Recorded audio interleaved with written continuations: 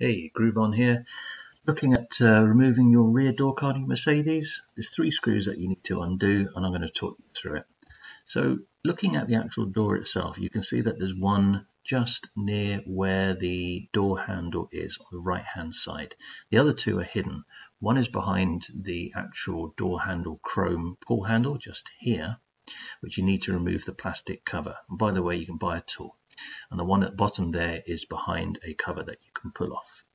The tool that I'm talking about, I'll put a link in the description. It's well worth having actually because it can, even for such a little tool, it can really help you. Also, it helps protect uh, the trim and the paint as well. So undo this little plastic cover. It's just a Phillips, a Phillips Posi 2 actually. Then there's the plastic tool I'm talking about.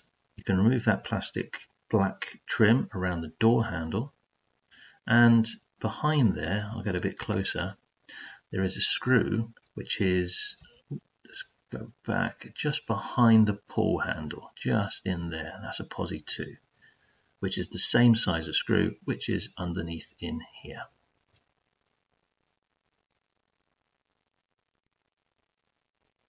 Okay, so remove the top screw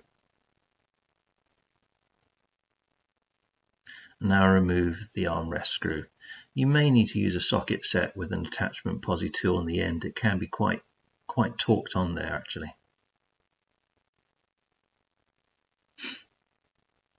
Now, with a good firm pull or using your plastic tool, you can actually remove this panel hopefully keeping all the clips in place.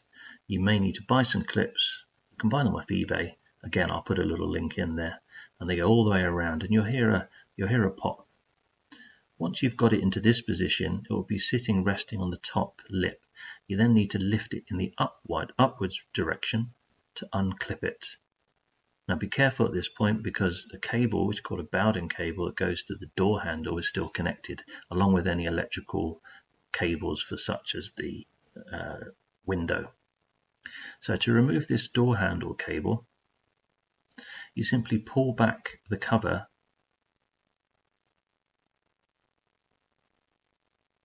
and lift off and then unclip the electrics.